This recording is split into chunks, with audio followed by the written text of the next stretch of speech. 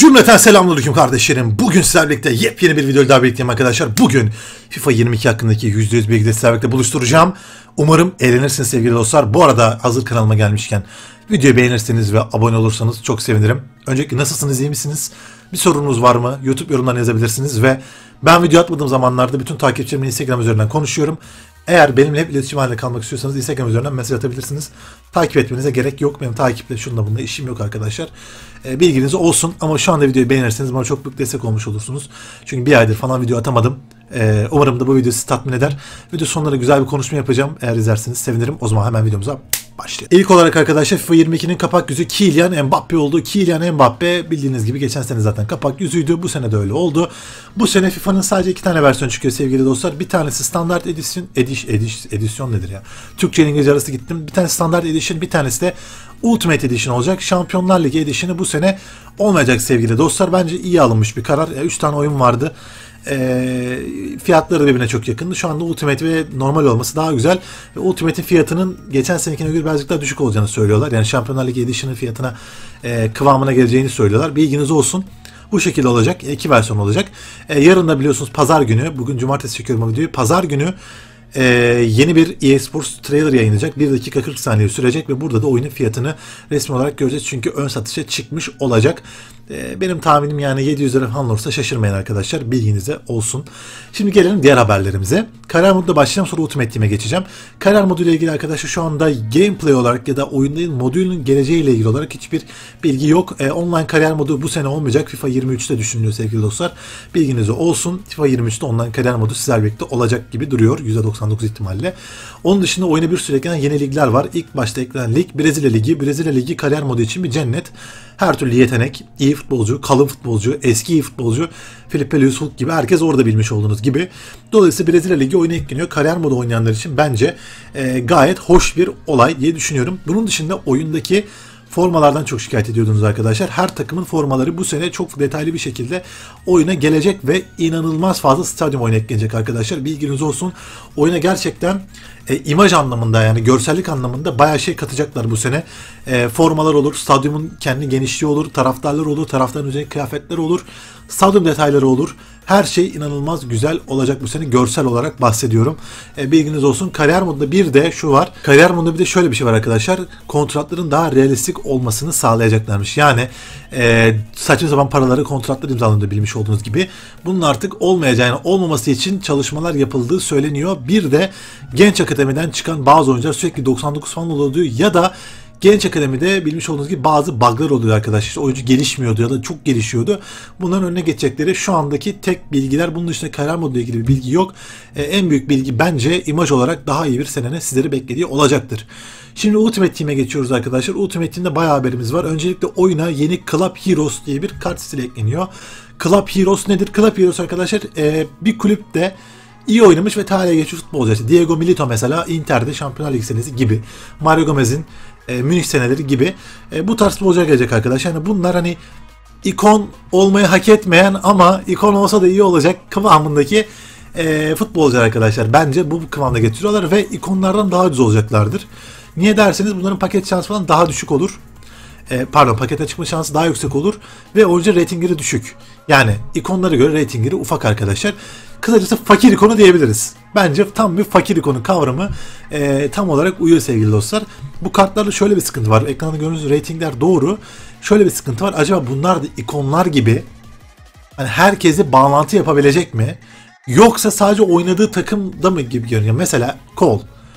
Ee, yani Joe Cole mesela Chelsea'de oynuyor.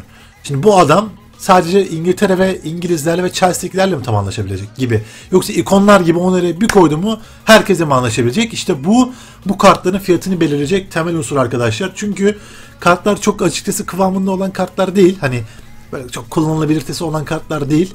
Bir Pele fena değil e, Marsilya'daki. Onun dışındakiler çok normal bence olan kartlar. Ya oyunun başına iyi olur mu? Olur. Renk katar mı? Katar ama bu bağlantı olayı bence baya önemli bir şey. Bu nasıl olacak arkadaşlar hep birlikte göreceğiz. Ve bu bağlantılı bu kartların fiyatını yön verecek. Bunun dışında oyuna eklenen yeni 5 tane kesinleşmiş ikon var arkadaşlar. Iker Casillas, Kısa boylu bir kaleci ancak oyunun metası eğer refleksleri çok iyi olan kaleci üzerine olsa Casillas çok iş yapacaktır. Robin van Persie klasik Van Basten gibi pace'i düşük, şutu yüksek olan bir forvet. Çok fazla kullanılacağını ben düşünmüyorum. Wayne Rooney normalde Wayne Rooney arkadaşlar kullanılırdı. Yani Wayne Rooney kalın bir kart yani. Fizik var, dribbling var, şut var, pas var. E, hız da aynı kıvam, orta kıvamda var ama kartın reytingi çok düşük. Yani 85 yapmış arkadaşlar base'ini. Büyük ihtimal prime'ı da 90 olacak Rooney'nin. Yani dolayısıyla bu da aslında Rooney'nin e, kullanılabilirliğini bir tık azaltıyor diyebilirim sevgili dostlar. Diğer isim Di Stefano. Di Stefano arkadaşlar yani baya baya iyi bir kart olacak bence. Öyle gözüküyor. Prime'ı 92 falan olacağı da söyleniyor. Ratingleri de yüksek. Di Stefano kullanılabilir. Ve son isim bence en iyisi Kafu. Yani şimdi bu sene biliyorsunuz sağ bek sol beklerin stoper kullanma metası vardı. Bunu düşündüğümüz zaman Kafu oyuna bayağı bir yani kalın gelecek yani. Çünkü ratingleri falan da bayağı yüksek. Pace var, defans var, fizik var. Yani şut dışında her şey var abi. Tamam mı? Şut dışında her şey felaket. Ben Kafu'nun çok iyi iş yapacağını düşünüyorum önümüzdeki sene ve bayağı da pahalı olacaktır. Hem oyuna yeni eklenen bütün ikonlar değil, oyuna yeni eklenen hype ikonlar pahalı oluyor arkadaşlar. Bu sene Cantona örneği gibi örnek verebiliriz. Tabi bu kadar ikon eklendi ama oyunun hiçbir ikon çıkarılmıyor maalesef. Bu da e, çok affedersiniz nerede çokluk orada bokluk diye bir laf var. Hani insan ikon çıktığı zaman bile bazen pakete sevinemiyor. E, keşke kullanılamayan bazı ikonlarda oyundan kaldırılsa diye de insan düşünmüyor değil. Bunun dışında gameplay olarak gelelim. E, profesyonel oyuncular için şöyle bir şey söyleyeceğim arkadaşlar. %99 bu. Hani biliyorsunuz bu sene PlayStation 4 profesyonel FIFA oyuncuları için temel konsol. Yani PlayStation 4 üzerinden her şey oluyordu. Önümüzdeki sene bunu PlayStation 5'e taşıyacaklarmış sevgili dostlar. Yani eğer profesyonel bir futbol, e, profesyonel bir e-sporcuysanız FIFA alanında PlayStation 5'te oynamak zorunda kalacaksınız gibi duruyor %99. E şöyle bir haber çıkmıştı. Weekend'lik sadece PlayStation 5 ya daha doğrusu yeni jenerasyon konsollarda olacak diye. Böyle bir şey yok arkadaşlar. Weekend'lik 2 konsolda da olacak. Ancak Weekend'likte 30 maç yerine 20 maç mı olacak diye konuşuluyor. Bence bu pek gerçekçi değil. 30 maç bence kalacaktır diye düşünüyorum. Çünkü 20 maç olması için oyundaki matchmaking'in ciddi bir değişime uğraması gerekiyor e, bunu da eSports'u yapacak bir kapasite bir beyin loblarının olduğunu pek düşünmüyorum. Dolayısıyla arkadaşlar Weekend'lik tekrar 30 maç olarak geleceğini bekliyorum. Kadro kurma görevleri satılmaz olacak diyorlar. Kadro kurma görevi satılamaz değil satılabilir olacak. Çünkü kadro kurma görevleri oyuna yeni başlayan insanları bir şekilde para yapıp Ultimate Team'e başlamasını sağlıyordu. Bu yüzden arkadaşlar önümüzdeki sene kadro kurma görevlerinin de satılabilir olacağını sizlere söyleyebilirim. Sadece 4 tane SBC tamamlayıcı verdiği bir 55k var ya o belki satılamaz olabilir ama diğer hepsi satılabilir olacak bilginize sunayım. Onun dışında arkadaşlar önümüzdeki sene yeni konsol, yeni konsollar ve eski konsollar arasında bir uçurum olacak. Bunu zaten geçen videoda söylemiştim. Hemen ilk özellikle başlıyorum. 120 FPS. 120 FPS arkadaşlar yeni konsollar supportluyor. Eski konsollar bunu tabii ki de supportlayamıyor cihazın kapasitesi yetmediği için. Dolayısıyla yeni jenerasyonlarda inanılmaz akıcı bir oynanış sizlerle birlikte olacak. Bunun dışında işte bakın bu tamamen bir çok habersiz geçirmedir. Yeni jenerasyona özel yeni özellikler olacak. Bu zaten kesin. Ama geçen videoda açıkladığım gibi Frostbite sisteminde olacak. Frostbite'ın farklı bir custom build yani custom e, özel tasarlanan bir Frostbite dünyası gibi düşünün. Bunun üzerine kurulacak. Frostbite'ın yeni serisi diyorlar ama ben pek sanmıyorum. E, custom build üzerine geleceklerini düşünüyorum. Yani FIFA 21, özür dilerim FIFA 22 eski konsolda ve yeni konsolda bambaşka olacak. Tamam mı arkadaşlar? Ama bambaşka olması gameplay olarak değil, akışkanlık olarak bambaşka olacak. Çünkü aynı dünya ikisi de. İki dünya aynı olduğu sürece yani Frostbite bir dünya. Bu iki dünya aynı olduğu sürece gameplay inanılmaz farklılık falan beklemeyin çünkü olmayacak. PlayStation 5 yeni Hypermotion diye bir teknoloji duyuruyorlar arkadaşlar. İşte PlayStation 5'te bu olacak diye ama Hypermotion falan isimlere falan takılmayın. Ben size saderi söylüyorum direkt. Sadet şu ki arkadaşlar yeni jenerasyon konsollar sistematik olarak daha hızlı çalışmayı sağladığı için oyun daha akıcı olacak. Bu akıcılık hangi anlamda olacak? Menüler. Pas atma, şut çekme, çalım atma, daralan futbolu. Bunların hepsi inanılmaz akıcı olacak. Bu akıcılığı gören insanlar da sanacak ki aa oyun baya farklı değişmiş. Halbuki oyun değişmedi. Oyun sadece sistemi değişecek arkadaşlar. Daha güçlü bir işlemci, daha güçlü bir hard disk, daha güçlü bir SSD ile oyun tabii ki de daha hızlı olacak. Bu hani Allah'ın emri gibi bir şey. Dolayısıyla arkadaşlar önümüzdeki sene işte Powered by Football yazmışlar, Frostbite yani futbol yazmışlar falan saçma sapan şeyler yani tamamen marketing. Bunların hiçbirine kanmayın. Ben size net olarak söylüyorum. PlayStation 5 ile PlayStation 4 arasında evet farklar olacak. En büyük fark hız farkı olacak. Belki PlayStation 5'te mesela Uzaktan şutlar OP olur. PlayStation 4'teki aynı kalır gibi.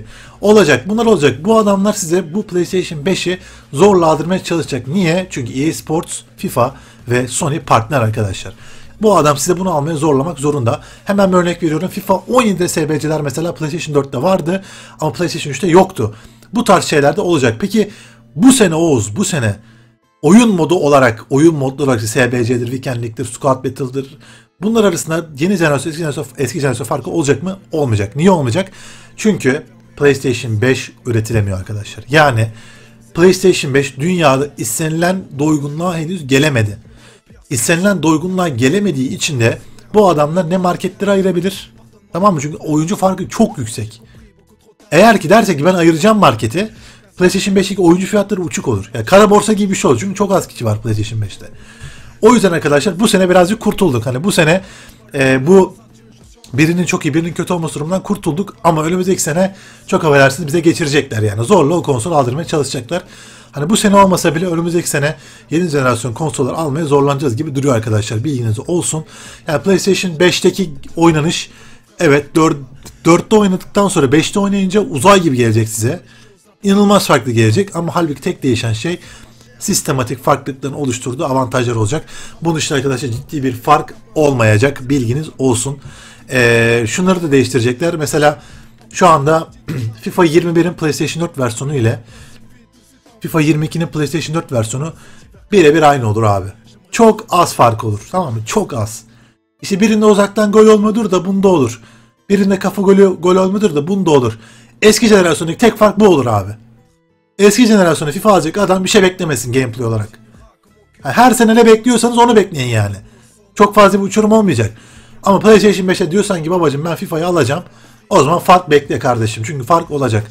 Hız seninle olacak bir kere. Akışkanlık seninle olacak. 120 FPS seninle olacak. Oyuna yeni eklenen belki şutlar, çalımlar seninle olacak. Ama eski jenerasyon hiçbir şey olmayacak. Bunu ben size arkadaşlar net olarak söylüyorum. Önümüzdeki sene yani FIFA 23'te de artık e, yeni jenerasyon bir konsol almak hani Allah'ın emri gibi bir şey olacak. Eğer FIFA'yı çok çok sapıysanız ve sonda oynamak istiyorsanız almanız gerekecek. E, bilginiz olsun arkadaşlar. Bunu da söylemek istedim. Şimdi bunun dışında e, EA Sports arkadaşlar biliyorsunuz geçen seneki videolarımı şunu söylemiştim. FIFA 21 için konuşuyorum. 21'in 4 versiyonu 5 versiyon arasında çok fark olacak. İşte yeni pas mekanikleri eklemiş falan demiştim. EA Sports'ta çalışan bir yazılımcı Reddit'e böyle yazmıştı. Onu geçen sene yapamamışlar. Niye? Koronadan dolayı. Geçen seneki bahsettiğim bütün değişikliklerin hepsi bu sene geliyor abi. Farklı pas açıları, farklı orta açıları, enteresan yönler mesela arkadaşlar. Oyuncu mesela 360 derece normalde biz hani kullanıyoruz ya. Ama oynanışta bunu hissedemiyorsun mesela. İşte PlayStation 5'i hissedeceksin. E, geçen sene bahsetmiş olduğum bütün o yeniliklerin hepsi bu sene PlayStation 5'te olacak arkadaşlar. Bunu sizlere net olarak söylüyorum. Bilginiz olsun. Yani bu videoda hemen çıkarım, çıkarım yapacağınız şey şu. EA Sports'un duyurmuş olduğu işte şu teknoloji bu teknoloji falan bunlar bir şey ifade etmiyor. Tamamen konsolun sağlamış olduğu akıcılık, konsolun, konsolun sistematik farkı ortaya çıkacak. Bunun dışında bu adamların yapmış olduğu bir şey yok. Türkçe spiker yok. Ee, bunu aklınızdan çıkarın. Türk ikon yok. Bunu da aklınızdan çıkarın sevgili dostlar. Şimdi Önceki videoyu buraya kadar izlediyseniz arkadaşlar beğenirseniz ve abone olursanız çok sevinirim. Şimdi benim kendi konuşma yapacağım yere geliyoruz. Arkadaşlar biliyorsunuz ben EA Sports Türkiye ile konuşma yaptığımı söylemiştim. Tamam mı? Şimdi öncelikle bazı şeyleri size anlatacağım. EA Sports Türkiye ile ben bundan bir sene önce konuşma yaptım. Adamlar bana net olarak şunu söyledi. Bizim bu ülkedeki tek amacımız FIFA point satımını arttırma, arttırmak. Bunu nasıl arttırıyoruz? Sese gel gibi e, bazı kanallara FIFA point veriyorlar. Onlar da çok çok fazla paket açıyor. Çıkanlara video koyuyorlar. E, onu gören de diyor ki çıkıyormuş diyor alıyor. Bu. Türkiye'deki e, FIFA'dan ne Türkçe spiker konusunda bir çalışma bekleyin. Ne Türk ikon konusunda bir çalışma bekleyin. Ne Türkçe stadyumlar konusunda bir çalışma bekleyin. Ne lokal server bekleyin. Bunların hiçbiri olmayacak. Çünkü niye? Bu kafa mentalitesi değişmediği sürece. Yani biz insanları nasıl FP satarız mentalitesi değişmediği sürece arkadaşlar hiçbir şey olmayacak. Bunu sizlere öncelikle söylemek istiyorum. Bilginiz olsun. Bunun dışında ee, bu FIFA topluluğuyla alakalı konuşma yapacağım. Bana çok fazla Instagram'dan DM geldi abi konuşma yapar mısın diye bu konuda. Yapayım. Arkadaşlar şimdi ben bu piyasada 6 senedir varım. E, 6 senedir videolar çekiyorum. Şu anda çoğu kişinin ulaşamadığı izleyici sayılarına ben zaten bundan 3-4 sene önce ulaşıyordum. Yani paket açılımı 2000-2500 kişi izliyordu. Biz başarıları zaten birlikte ulaştık. Kimsenin yapamayacağı projeleri de birlikte yaptık. Futbolcu projeleri falan. Bu tabuyu biz kırdık Türkiye'de. Bunu başardık. E, bunlara hiçbir şey demiyorum. Ben bunu şundan söyledim hani biz de bir şeyler yeni gelen arkadaşlar da bilsin hani neler olmuş neler bitmişti. Şimdi ben geçen bir tweet attım arkadaşlar. Birbirlerinin arkasından konuşan insanlar işte gülmesi çok komime gidiyor diye. Şimdi arkadaşlar geçenlerde bir turnuva olmuş Twitch'te ve bunu kazanmış Türk kardeşlerimiz. Tebrik ediyorum hepsini. Ee, şimdi ben şuna o tweetimde şunu demeye çalışmıştım aslında. Şimdi ben piyasanın için olduğum için ben bazı insanların birbirleri hakkında düşüncelerini biliyorum arkadaşlar tamam mı? Yani benim yanımda birisi için benim içeriğimi çalıyor. Keşke bir gücüm olsaydı kanalı kapattırsam o adamdan korkuyorum diyen bir eleman vardı. Bakıyorum o tweetin altında bir şakalaşıyorlar falan. Ve şakalaştı çocuk da bunun böyle düşündüğünü bilmiyor mesela. Hani bu durum bana çok ters geliyor arkadaşlar. Anlatabiliyor muyum? Ben buna vurgu yapmıştım aslında. Yani ben izlenme için, e, ünlü olmak için böyle birilerinin arkası sığınıp öyle koyun gibi ilerlemek ben bundan nefret eden bir insanım arkadaşlar. Sevmiyorum yani. Bu benim kendi yapım. E bir de ben şimdi bu adamların böyle yaptığını görünce doğal olarak daha da hani irite oluyorum yani açıkçası. Çünkü samimi olmayan davranışlar. Ben bunları gerçekçi bulmuyorum. Ben bunları doğru bulmuyorum arkadaşlar. Diyeceksin ki o sen doğrucu Mehmet misin? Ben doğrucu Mehmet falan değilim. Benim karakterim bu abi. Ben böyle cıvık ilişkiler, yalan dolan ilişkiler, yalandan gülmeler, çocuk çocuk hareketler ben bunları yapamam yani. Ya sosyal medyada biliyorsunuz kavga biri bana küfür yazıyor. Ben küfür yazmıyorum. Ben direkt adres bırakıyorum yani abi. Ben çünkü uğraşamam insanlarla. Ya böyle klavye başında geliyor adam bana zigotun biri küfür yazıyor. Ben bunu uğraşamam abi. Anlatabiliyor muyum arkadaşlar size? Dolayısıyla FIFA topluluğu böyle yani. Bu aklınızda kalsın. Bunu ben size söyleyeyim. Birkaç kişi dışında böyle. Bunun dışında bana yazıyorlar abi ben pro player olmak istiyorum. İşte YouTuber olmak istiyorum. Bak güzel kardeşim ben sana bir abi tavsiyesi vereyim. Ben 24 yaşındayım. Benden büyükleriniz var, küçükleriniz var. Herkese saygım sonsuz. Ama her yaş ne yaşta olursanız olun bir bilgiden yararlanabileceğinizi düşünüyorum. O da şu. Arkadaşlar şu anda İstanbul'da minimum ev fiyatı 1 milyon TL. Tamam mı? İyi yerlerden bahsediyorum. En ucuz ev kirası 3000 TL. Ya kardeşim sen diyorsun ki ben pro player olacağım. Sen pro player olan ya da bu işi full time yapanların hiç baktınız mı arkadaşlar durumlarına? Ya aileden rahat hani aileden parası var adamın hani üniversiteye falan donduruyor okumuyor etmiyor tamam mı? Ya böyle ya gerçekten adam parası var. Bu ikisi dışında hani bu işi böyle kıtlıkla yapan var mı? Gördünüz mü arkadaşlar? Yok. Niye yok? Çünkü bu iş yani bu olay bir iş olarak yapılmaz arkadaşlar. Bunu bir iş olarak yapmak için gerçekten aileden şuradan buradan desteğin olması lazım. Anlatabiliyor muyum sana? Yoksa bu oyunu oturup oyun oyun oynanmaz yani. Ben size söylüyorum bak diplomanızı alın tamam mı? 22 yaşında bak ben 22 yaşında mezun oldum. Hiç hazırlık hazırlık okumadım. Kalmam almıyor. 22 yaşında mezun oldum ben. Sen de ol 22 yaşında mezun tamam mı? Bir diplomanı al önce eline. Bir diplomanı al. Üniversiteye falan dondurma geciktirme. Bir diplomayı al eline önce.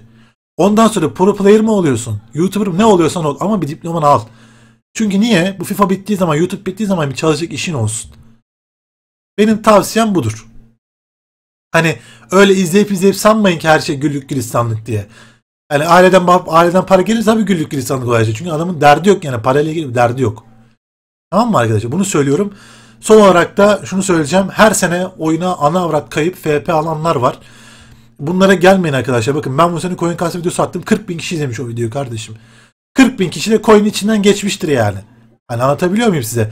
Sakın FP falan almayın. Bu Game Changer'ı işte alıyor diye gaza gelip almayın. Tamam mı arkadaşlar? Bakın ben size Game Changer programının mantığını söyledim. Adamlar FP sattırmaya çalışıyor. Genelde Game Changer olan insanları da EA Sports'un oyun veriyorlar. Tamam mı arkadaşlar? Arada bir forma morma falan veriyorlar.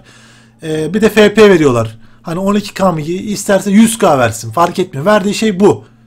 Hani bunları bilin diye söylüyorum ben ya. Anlatabiliyor muyum? Bilmiyorsunuz diye uyandırayım sizi yani.